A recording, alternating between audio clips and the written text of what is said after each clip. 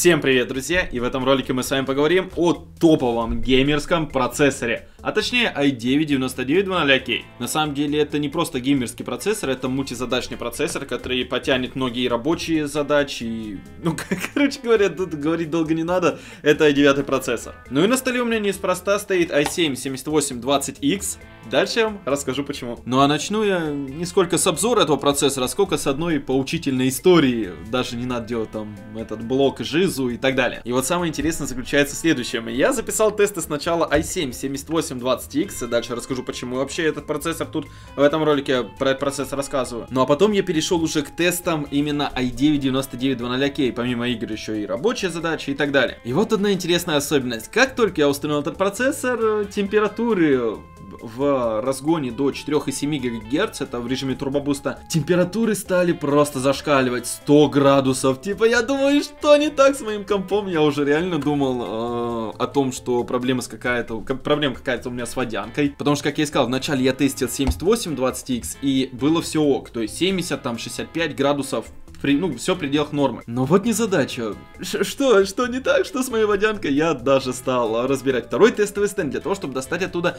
i7-8700K и установил i7-8700K в надежде то, что все-таки а, Intel мне прислали не бракованный процессор, а что-то значит все-таки с моей системой. И на удивление, температуры того же i7 тоже стали зашкаливать я просто выпал в этот момент, потому что я, конечно, хотел верить то, что Intel все нормально прислали, но все-таки я подозревал, что проблема в этом проце. но нет, нихуя. И вот я стал думать, в чем же действительно проблема, потому что водянка же нормальная, ну не может быть проблема с водянкой. Смотрю, помпа качает, все ок, сильно не жужжит. И в этот момент я задумался, стоп, оно сильно не жужжит. Почему? Почему, когда температура процессора около 100 градусов, э, компьютер блин, стабильно тихо работает. Тут я вспомнил, что когда я установил материнскую плату Z390 для тестов как раз вот этого i9, кстати, про материнку я дальше вам расскажу, я решил немного покопаться в BIOS в надежде то, что во, круто, BIOS, он, блин, Asus BIOS, он прикольный, потому что я сам на домашнем компе у меня Z170, и когда я установил эту материнку, я стал копаться в BIOS, как я и сказал, и начал заниматься вертушками. Нет, я не чайник в BIOS, я не чайник в настройке,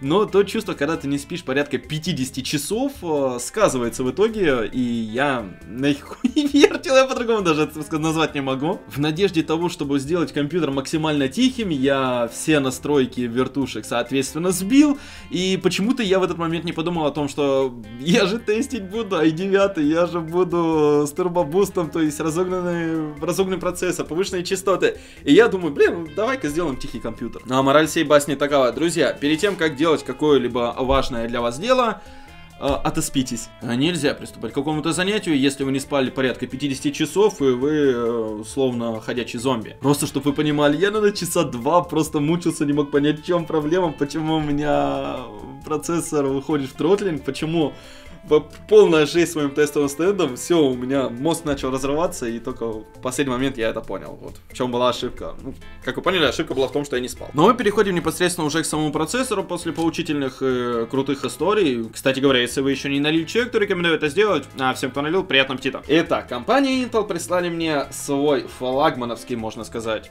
не можно сказать, он так и есть, флагмановский процессор на сокете 1151V2. Это i9-9900K. Сразу скажу, инициатором данной посылки была не компания Intel, а именно я. Я выпросил у них этот процессор на обзор. Сделал я это для следующего. Uh, у меня в тестовом стенде, если те, кто следует за каналом, знают, у меня стоит i7 7820X. Это старший i7 из uh, поколения Skylake X. И вот самое интересное, uh, вот этот i9 процессор имеет сокет не 2066, а 1151. Те, кто следят за железками, привыкли видеть то, что у i9 процессоров, как правило, соки 2066 и чипсет X299. Но тут Intel пошли по другому пути. И вот самое интересное, эти два процессора имеют плюс-минус похожие характеристики. В обоих случаях у нас 8 ядер, 16 потоков, стоковая тактовая частота 3,6 ГГц. Но разница, конечно же, есть. Этот i7 7820X поддерживает четырехканальный режим работы оперативной памяти. А этот же i9 максимум двухканал. Ну а по поводу цены сравнения характеристик вы сейчас видите все на своих экранах. Где-то вот тут, я вам все расписал. а, посмотрите. И как вы понимаете, в случае, если мы собираем с вами компьютер, топовый компьютер на 1151 сокете, то мы получаем то, что материнки, во-первых, дешевле на этом сокете, на чипсете Z370, Z390, всяко будут дешевле, чем на X299. И плюс цены этих процессоров. То есть получается следующее, то что за определенную сумму, вот допустим то, что нужно купить материнку и этот процессор, и потратить чуть меньше сумму, именно купить, допустим, Z370 или Z390 и установить этот i9, вы получите за меньшие деньги большую производительность. И чтобы, друзья, показать более наглядно то, о чем я говорю, зайдем на e-каталог. Короче говоря, i9 9900K стоит в районе 47 тысяч рублей, в то время как i7 7820X вообще нету в продаже. Зацените, это последняя цена, которая была зарегистрирована. И да, к слову, по поводу подорожания самих процессоров от Intel. Мои прогнозы примерно такие, то что к февралю, примерно к марту цены более-менее должны стабилизироваться. Но тут самое интересное, мы теперь переходим к чипсетам. Как вы видите, материнские платы на Z370 и Z390 стоят, как правило, намного дешевле, чем X299. И да, друзья, ссылка на e-каталог, процессор от Intel, процессор от AMD, тут же Рязань. Все это будет в описании видео, обязательно загляните. Именно поэтому меня и заинтересовал этот процессор, потому что, потому что, во-первых, Intel никогда не выпускали процессоры i9 на сокете 1151, это народный сокет, я думаю, тут говорить ничего не надо. А, сокет, потому что 2066 это больше для энтузиастов и для тех, кого, ну, до хера денег. Это не совсем ко мне относится, просто у меня тестовый стенд, и мне необходимо иметь материнку на этом чипсете для того, чтобы тестить, соответственно, процессоры. И вот тут внезапно происходит. Intel все же выкатывает i9 на 1151. Ну и, само собой, следом выкатывает и новый тип материнок, чипсет Z390, кстати говоря, спасибо компании Asus, которая прислала мне эту материнку для этого видоса. Я вам расскажу про эту материнку. Ну а сейчас, друзья, разглагольствовать не будем и переходим непосредственно уже к самим тестам. Итак, друзья, тест номер один. Cinebench. Начинаем мы с более таких рабочих тестов, игры будут чуть позже. Я провел на каждом процессоре три теста. Разница между этими процессорами составила около 11%. Само собой, i9 фаворит. И да, по поводу частот. У i9 9920K 4,7 ГГц, у i7 7820X 4 4,5. К слову, справа вы можете увидеть результаты тестирования i7-8700K. Собственно, вы видите все сами. Итак, друзья, тест номер два. Sony Vegas 13. Визуализация небольшого проекта, где есть э, простенькие спецэффекты и переходы. Сначала тест с выключенной поддержкой видеокарт. В этом случае прирост составил в районе 8,5%. Ну а теперь делаем все то же самое, но с включенной функцией поддержки видеокарты. Разницу вы видите сами. Следующая игра на тесте это Assassin's Creed Odyssey. Full HD разрешение, минимальные настройки графики. Почему я тестирую на минималках? Да, все просто. Если мы будем тестировать на высоких или на ультрах, то все будет упираться, соответственно, в саму видеокарту. И тут мы видим действительно хорошую разницу между этими двумя процессорами. Я даже проценты высчитывать не буду, потому что и так все, в принципе, понятно и видно. Кстати, пару слов о тестовом стенде. Материнку я вам показывал, которая используется в тестах с i9. В роли видеокарты RTX 2080 Ti от Asus, а в роли оперативной памяти 4 плашки по 8 гигабайт. Оперативка от компании Jail. Следующая игра Battlefield 5. Настройки те же самые Full HD, там минималки и так далее. Вообще, друзья, я хочу поговорить немножко о другом. Все тесты, тесты, тесты, какая-то тягомотина. Многие да, не понимают, что вообще за хрень происходит на экране. А вот что я хочу сказать. Я смотрел у некоторых блогеров обзорчики и так далее уже на этот процессор. И есть такой блогер Игорь Морозов. И вот у него под роликом я прочитал один интересный комментарий. Я хотел бы этим комментарием поделиться с вами. То есть, да, я не только у себя читаю комментарии под видосами, но еще и у других блогеров. Я прочитал и действительно задумался, и я думаю, что автор прав. Но действительно, есть люди, которые собирают себе компьютеры не тупо для игрушек, там даже, либо просто для рабочих задач, а просто на будущее. То есть для того, чтобы через три года не сказать то, что все, мой ПК превратился в тыкву, и, соответственно, нужно полностью все менять систему. А чтобы компьютер работал как минимум лет 5, а то и больше. И да, если вы себе собираете подобный компьютер, то i9 9920K я бы мог бы запросто рекомендовать. В общем, ладно, это все лирика, и как всегда, во время теста меня занесло не в те дебри. Смотрите следующий тест. Far Cry 5 минимальные настройки графики Full HD разрешения. Вот чего-чего, а от Far Cry 5 подобного я не ожидал. Самая большая разница между этими двумя процессами проявляется как раз таки в этой игре. Озвучивать цифры какие-то бессмысленно, опять же, все видно прекрасно на экране, я тут уже... Наши полномочия на этом все. И вот продолжая прошлую дискуссию, я еще хочу одну вещь сказать. Сейчас меня многие поддержат и подтвердят эту инфу. Э, люди, которые сидят на простеньких и стареньких системах, зачастую не покупают новые какие-то процессоры, новые материнки, а они смотрят под эти сокет, вот у меня там, допустим, 1156 сокет, вот, надо вот такую-то получше процессор искать. И вот что может случиться с этим i9-9900K. Через, возможно, там лет 5-6, я не знаю, там, сколько времени должно пройти, сколько поколений уже у Intel процессоров выйдет. И, возможно, этот сокет 1151V2 будет уже, ну, устаревшим говном мамонта. Через некоторые годы, возможно, они начнут апгрейдиться как раз-таки на 9900K. Потому что, опять же, это, возможно, будет дешевле, по производительности будет намного лучше. Но, опять же, в соотношении потраченного рубля. Но это так, мысли вслух, еще неизвестно, сколько этот процессор будет стоить на вторичке, там, через 6 лет, но, надеюсь, не так дорого, как эм, как, как сейчас. Я просто,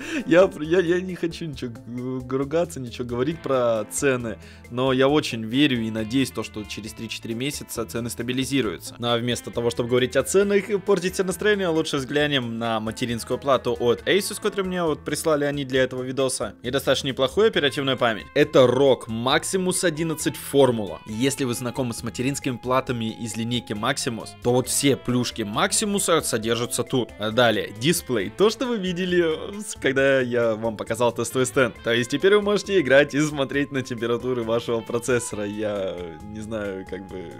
Ну да, в конце концов, почему бы и нет. Да и просто на этот дисплейчик можно вывести разные картиночки, разные показатели. Но это все фигня по сравнению вот со следующим, что я вам покажу. Это возможность установки кастомного водяного охлаждения. То есть да, по сути вы можете установить кастомную водянку сразу на видеокарту, на процессор и на саму материночку. На этой материнке, как и в целом на Z 390 присутствуют разъемы под светодиодные ленты. Там идет адресуемые неадресуемые светодиодные ленты, все можно настроить под RGB. И вот конкретно у этой материнки все будет поддерживаться в системе Asus Aura. Также тут есть еще одна фича, про которую Asus попросили меня обязательно рассказать. Это аудиосистема. Тут аудиокодек Supreme FX. S1220A, а также Sonic Studio 3. Короче говоря, чтобы не морочить вам голову лишними терминами, объясню. Эта аудиосистема является максимально лучшей для геймеров, чтобы вы четко, с точностью до каждого градуса могли вычислить, откуда идут шаги, с какой стороны и так далее. Но вот самое интересное, Z390. Интерфейсы. Какие же интерфейсы подключения? Перечислять я попросту их не буду, потому что это полный трендец. Помимо того, что вы видите, еще в комплекте идут антенны. Wi-Fi. Мелочь, но очень приятная. Ну, а по поводу же оперативки, которую вы видели, то, как я и сказал, это 4 плашки по 8 гигабайт с тактовой частотой 3000 МГц. Это JL Super Luce. Luce. I will bet speak English. Короче говоря, эта оперативка поддерживает также систему Asus Aura. То есть, грубо говоря, вы сможете настроить абсолютно все, что вам нужно в одной единой программе. Какие выводы в итоге я могу сделать? А выводы, друзья, следующие. Если вы себе собираете компьютер на топовой системе, если вы планируете себе там RTX 2080 Ti, Понятное дело, там, если у вас э, 1050, это не имеет смысла. Ладно, все. Это уже какие-то баянистые шутки пошли.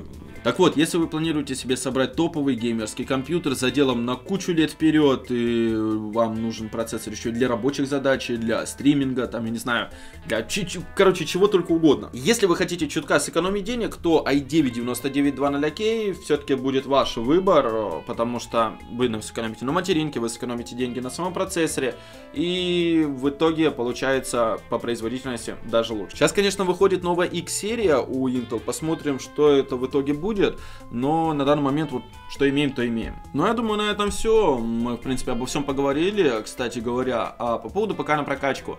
Все, почти все железо наконец-то уже ко мне приехало. Счастливым обладателем. Я не буду говорить, кто будет, я уже чуть не проспойлерил. А, вы очень скоро увидите ролик. Я думаю, что где-то, наверное, через неделю я поеду уже э, к человеку. Я не помню, говорил, куда я поеду, не помню, серьезно, спойлерил это или нет.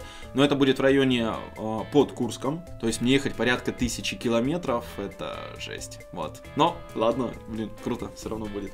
В общем, скоро будет видос на эту тему. Ну и на этом все, друзья. С вами был Бригман. Всем удачи, до новых встреч. Увидимся совсем скоро. Всем пока, друзья. Не, с удовольствием, конечно, купил рубашку, но я говорю, я весь торговый центр обошел, просто ничего нету.